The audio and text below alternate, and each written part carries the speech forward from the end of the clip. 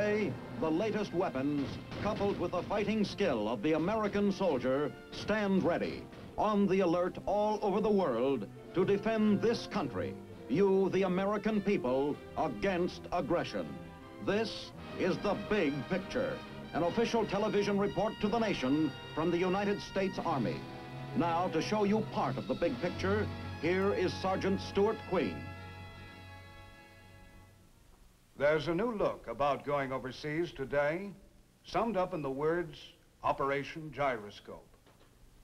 Formerly, when a soldier went overseas, he had no idea of his assignment before shipping out, and usually he joined his new unit as an individual replacement. Now into the picture comes Gyroscope, the Army's newly developed system for rotating entire combat units between home and overseas bases on a fixed schedule. Military leaders and servicemen of every rank, not to speak of their families, are watching the gyroscope experiment with intense interest. Why the interest? The reasons will be clear when you hear and see the picture story of Operation Gyroscope. Captain James Bounds, reporter for the Big Picture, recently accompanied the first unit to move overseas since Gyroscope went into effect. Captain Bounds. Two airborne regimental combat teams were to be involved in the first gyroscope move. One unit was in Japan, the other a long way off at Fort Campbell, Kentucky. And it was to Fort Campbell, home of the famous Angels of the 11th Airborne Division, that I went to see how a unit prepares for a move overseas in the gyroscope era. First off, what about a gyroscope? Well, as any Navy man or dictionary will quickly tell you, it's an instrument often used to resist the rolling of a ship or airplane. You might say it helps maintain balance, stability. I began to understand why the code name gyroscope at an officer's briefing session of the 508 Airborne Regimental Combat Team. Gentlemen, I have brought you together here this morning to discuss our move to Japan. You're all aware of the importance of gyroscope to the Department of the Army. We will be the first unit to complete its portion of the first move in gyroscope. There's another first. We will be the first unit, the 508 Airborne Infantry Regimental Combat Team, to travel by air over an ocean, complete tactical move. And a complete tactical move of nearly 4,000 officers and enlisted men across the country, then over the Pacific to Japan, is a job requiring coordination and planning of the highest order. Everything was spelled out on paper, from the standard operating procedure for packing office records to the assignment of billets upon arrival at the destination. I suppose that's one reason the operation looks so smooth. Files into packing cases, and cases systematically into trucks. A crisply executed sequence, like Reese to Gilliam to Hodges. Some 1,000 dependents of the men of the 508 were due to move out too, heading for San Francisco's port of embarkation and the trip over. A sea voyage for them, with the soldiers going by air. I saw many a boy's bicycle loaded aboard, Little girls weren't budging if they were separated from those little dolls. Not long afterwards, the railroad station at Fort Campbell was the scene of a lot of temporary goodbyes. Temporary because for the first time in Army history, men were able to put their families aboard a train heading for a West Coast port and plan to meet their families upon arrival in Japan.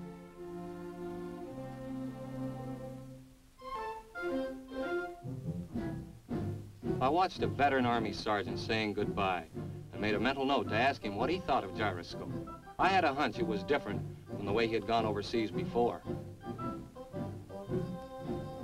With a final wave from the commanding officer and the other husbands and fathers at the station, the train pulled out for the start of a long, long trip. With the dependents on their way, the last few days before the 508's departure raced by. The afternoon before moving out, I stood on a company street as the sound of a whistle pierced the air.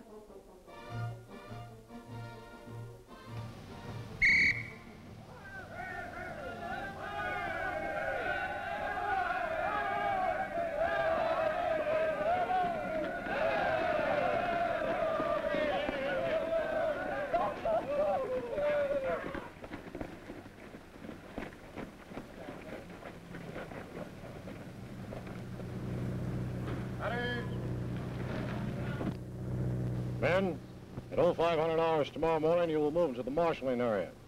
At 1500 hours this afternoon, I will be back to make an inspection of your barracks, your clothing, your equipment, and your individual weapons. When I come back at 1500, I want you to have those things clean. And I mean clean. Mark Campbell.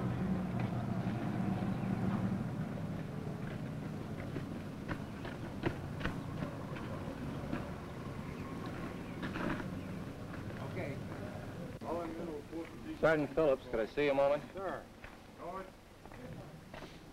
Yes, sir. Sergeant Phillips, uh, this is uh, Sergeant Wilson. Sergeant Phillips.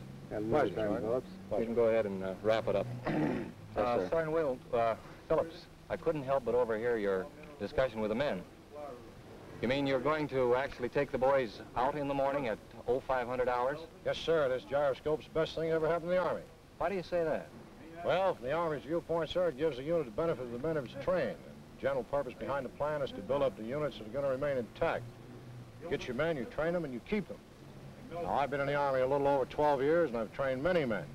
Just at the time you get them up to the point where they're a good fighting soldier, he comes out in a blasted order and he ships to another unit. But now you're talking about the Army. What about the men themselves? I think for the men it's excellent. A man comes in the Army, the hardest thing he has to do is make friends. This way, if he gets in the unit, he makes his friends, he stays with them, and keeps his whole tour of duty right in the same outfit. Well, now you've covered the Army and the men. What about yourself personally, Sergeant? Well, I'm very proud of my outfit, sir, and I'm proud of the men that are in it. And besides that, I'm a married man. I get to take my wife with me in 13 days. If the old system would take me six months. Well, good luck this time. Probably see you over there. Thank you very much. Bye, Sergeant. It's a pleasure. You bet. Morning of the departure, duffel bags were stacked at the head of the company street, then checked to make sure the contents were secure. And the sun had barely come up when the last contingent of the 508 was marching out of Fort Campbell. Within a short time, the advance units of the 508 reached the marshaling area near the airport. Here they would stay until boarding the planes.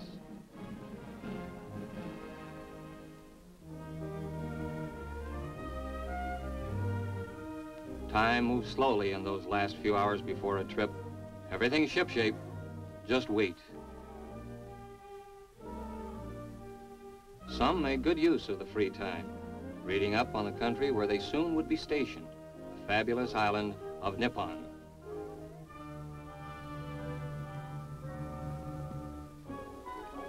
In Japan, meanwhile, a final taste of Japanese culture was being absorbed at the other half of Operation Gyroscope.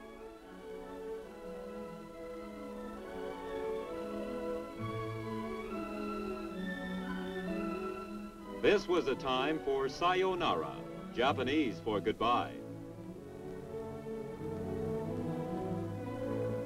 This was a time for the farewell speeches, simple, sincere words between friend and friend, Japanese and American. Time for the fragrant aroma of such delicacies as shrimp tempura. Time for a few remarks by a representative of the 187th Airborne Regimental Combat Team. Remarks adding up to thanks, people of Japan. Then the table set in distinctively delicate style, chow time Japanese fashion. And it's never too late for another chopstick lesson. Yes, the last days in Japan were full of interesting activity. Some play, but mostly work. Gyroscope took plenty of planning on the 187th end, too, so that everything would go smoothly.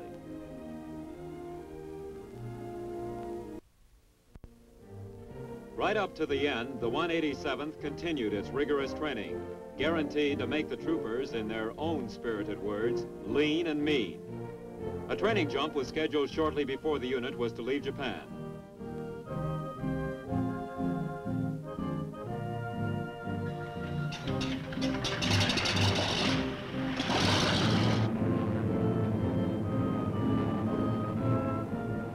With the paratroopers, everybody jumps, from the clerk to the rifleman, from the parachute rigger to the cannoneer.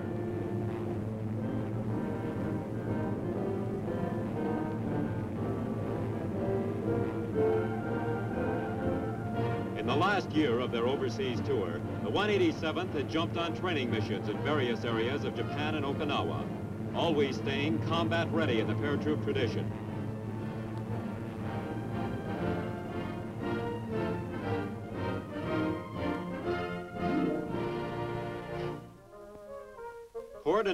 The final jump program were the departure preparations which went rolling onward.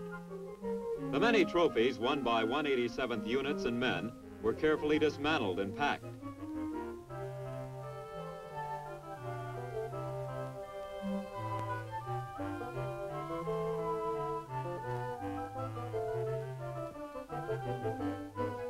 Then crating,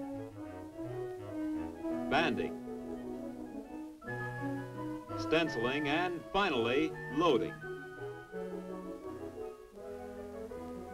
And at the post office, many a rakkasan, as the Japanese call the paratrooper, mailed home souvenirs, bought in exotic places like Beppu and Oyanohara, and now bound for more familiar towns.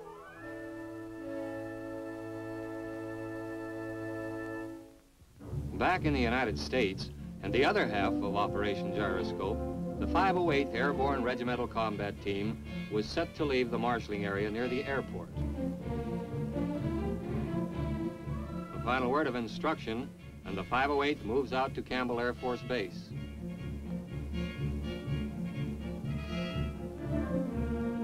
This will be the first time an Army unit of this size has been airlifted over either ocean on such a long trip.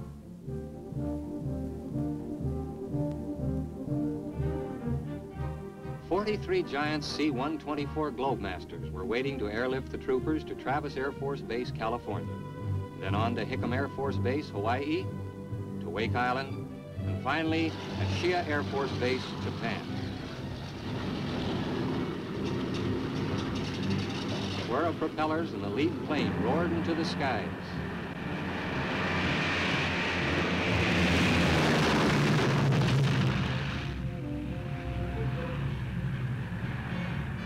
At regular intervals, guided by the staccato instructions of the tower, the planes took off.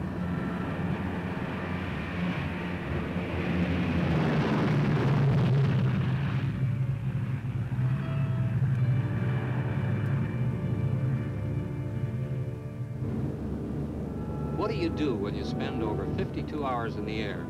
Well, if you're anything like the men of the 508, you will eat and talk, and loudly too, I realized, so as to be heard above the roar of the motors. Or be strictly GI and shine your brass. Chew some gum, maybe.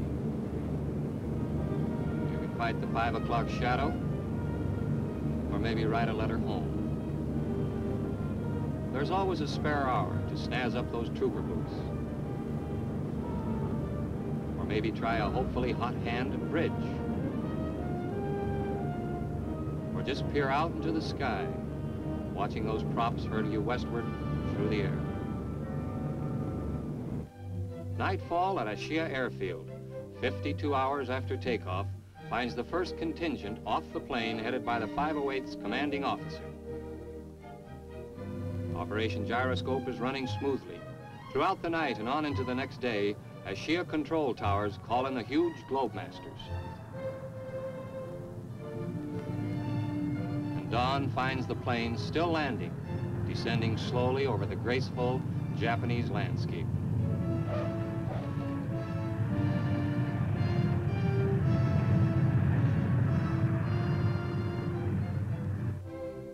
From the neatly pressed uniforms and the general appearance of the 508, you'd never know they'd spent so many hours aboard a crowded plane. A formation, and all present and accounted for, sir, and they're on their way again. The final destination is fairly close now.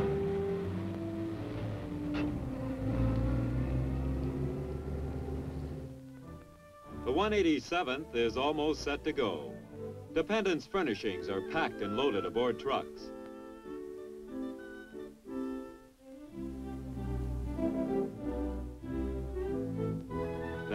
Last meal at camp before pulling out. Most of the soldiers will fly home. Dependents will return by ship.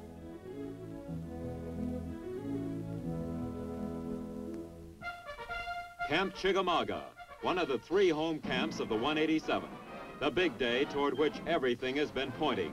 The turnover of command to the commanding officer of the just arrived 508.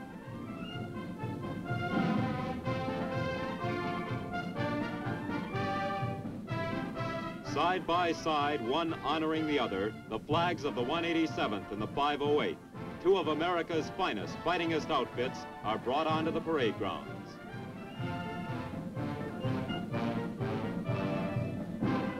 And as the band plays and the reviewing dignitaries look on, the transfer of command is completed.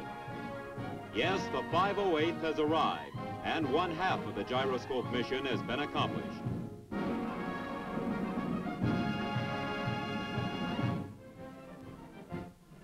Out of camp, homeward bound, goes the other half of Gyroscope, the 187th Airborne Regimental Combat Team. Japanese of all ages wish them farewell and Godspeed.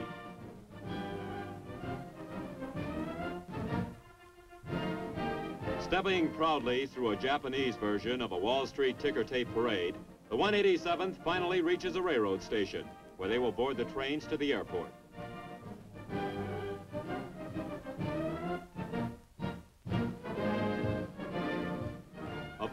Speech by the mayor, then bouquets of flowers as testimonials of Japanese affection and goodwill.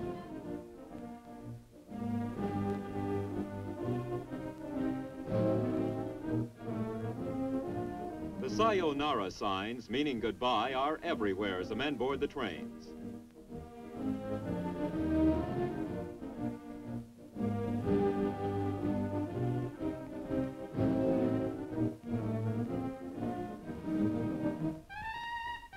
Japanese swing band serenades as a soldier named O'Neill, clearly a favorite, gets special attention. All aboard, and the homeward bound special train chugs out of the station.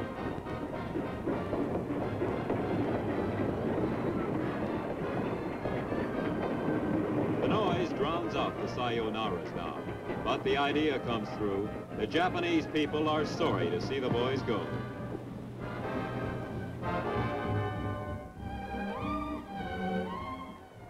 Relaxing in the coaches, the men have a last look at the perennial face of Japan as it moves past in a bewildering succession of small farms and paddy fields and fishing villages.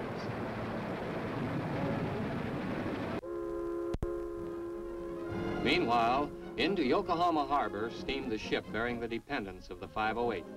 You can be sure that the men of the outfit were preparing a tender welcome to Japan for their wives and children who crowded the rails and portholes.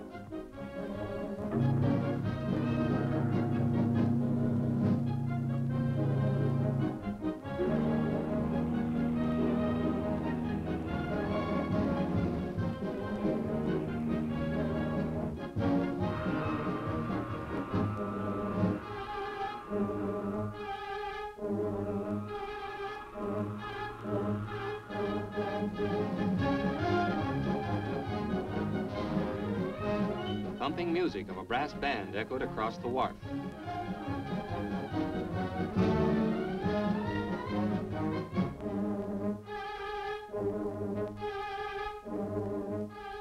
A welcoming party came aboard with flowers for the wife of the commanding officer. Representatives of the Japanese community were on hand to extend greetings to the families of the 508.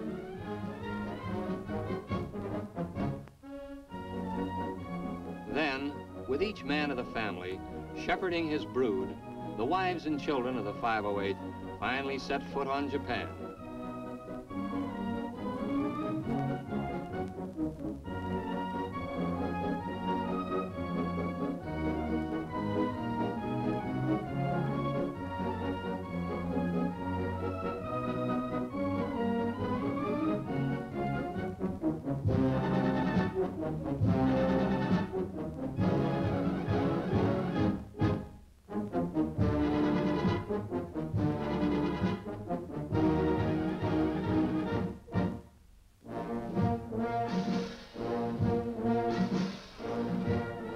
Paperwork was kept at a minimum so that the new arrivals could be processed quickly and efficiently.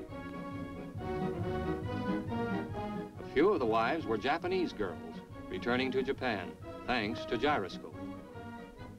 How long uh, have you been in the United States? Three years. Three years. Uh, where did you meet your husband uh, over here in Japan? Japan is, he was uh, 11 airborne before, and then that's uh, 1946. And uh, where, whereabouts in the country here did you meet him? Uh, what part? What do you mean, um, up to north? Up north. Yes. I see. Um, Yoshiko, uh, how did how did you enjoy your trip uh, over on the boat? Well, this time I have a lot of trouble because I got a one more. You got two And two so, boys here. Yeah, I think it's a miserable trip. I really need a husband to help me this time. Well, I understand that uh, your husband isn't here, but that you're going to meet him in uh, Camp Wood. You're leaving on the train today Yes. to meet your husband. Yes. Uh, tell me, uh, are your parents uh, still living? No, I have only one sister. One sister. Yes. And uh, where does she live? And Morioka, my hometown. I see. Uh, are you going to uh, get a chance to visit her as soon as you can? Well, uh, my hus- my my father's uh, died right after I go to the United States, so I like to go to the cemetery and uh, see my father. Well, how did you like uh, life in the United States, Yoshiko? Well, I think that any place you go, I think the same. The people are the same, and the people over there are very kind, real nice for me. And my mother-in-law and father-in-law, are wonderful people. Well, are you glad uh, to get back to Japan to visit some of your old friends again? Oh yes, I'll wear all right away. Uh, tell me, Yoshiko, what do you think of uh, this Operation Gyroscope, uh, whereby uh, you can go with your husband wherever he goes? this, well, it surprised me. I don't know what to say. Still, I can't breathe, you know. You, th- you think it's a good deal? Yes, it's real nice. The ship didn't remain empty long. No sooner were the dependents of the 508th ashore than the family men of the 187th, with wives and children, went aboard for the trip home. For some of the children, born in Japan, this would be the first time they would see their country. The Army was anxious to get reactions to Operation Gyroscope. Sergeant, how long have you been with the 187? Uh, I've been with them approximately 18 months.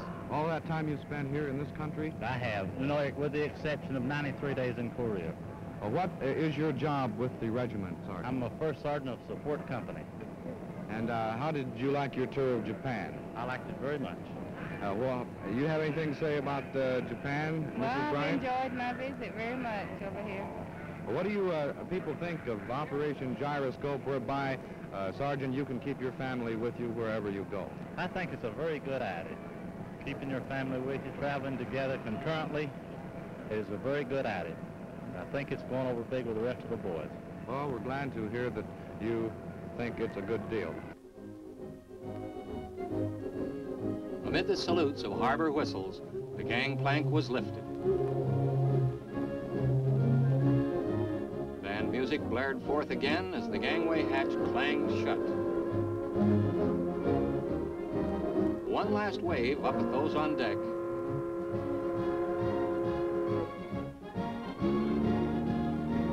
A flurry of activity on the wharf, and slowly the ship pulled away from Japan.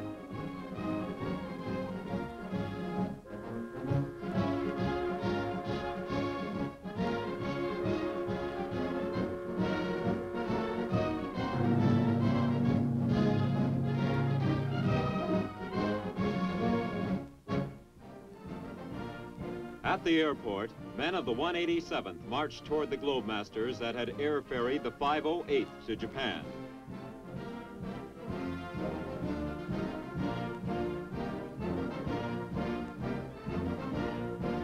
Within a short time, they would be marching off the plains, onto the soil of their own country.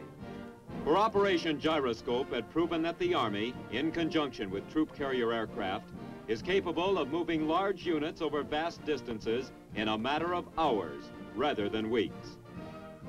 From the standpoint of the men and their families, Gyroscope has given their careers a stability Army life never had before, with a resulting boost in morale and unit spirit.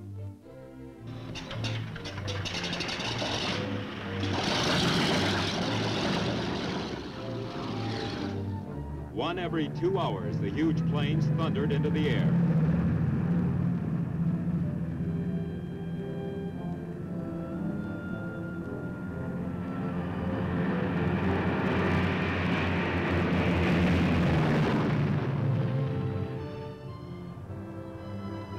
Throughout the day and night, 43 Globemasters throbbing through the sky.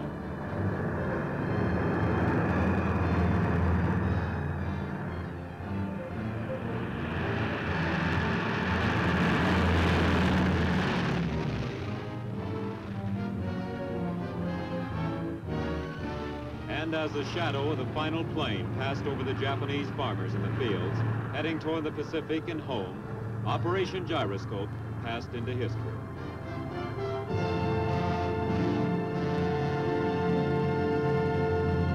Yes, from Fort Campbell, Kentucky, to the islands of Japan is a long, long way. But for several thousand soldiers, maybe it didn't seem so long, thanks to the speed of air travel and the planning of Operation Gyroscope. Thank you, Captain Bounds, for your report on the Army's newly conceived rotation plan, Gyroscope. Now, this is Sergeant Stuart Queen, inviting you to be with us again next week for another look at your Army in action on the big picture. The Big Picture is a weekly television report to the nation on the activities of the Army at home and overseas. Produced by the Signal Corps Pictorial Center. Presented by the United States Army in cooperation with this station. You too can be an important part of the big picture. You can proudly serve with the best equipped, the best trained, the best fighting team in the world today, the United States Army.